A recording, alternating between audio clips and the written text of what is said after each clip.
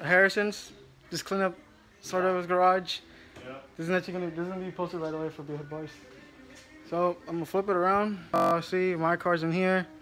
Not gonna be the one I'm having to upgrade because this is gonna be gone in a couple of week days. Next week is gonna be gone. Harrison's car can still fit more shit, but we clean up this thing.